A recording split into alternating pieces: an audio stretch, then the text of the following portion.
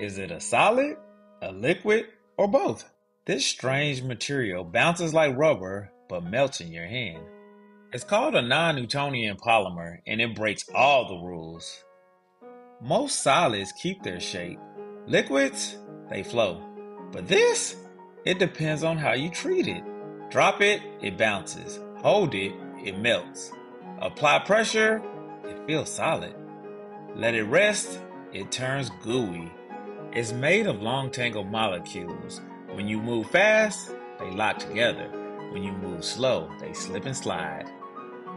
Fun fact NASA experimented with materials like this for shock absorption, and toy makers turned it into bouncing putty and stress balls. Weird, right? One moment it's a ball, the next, a puddle.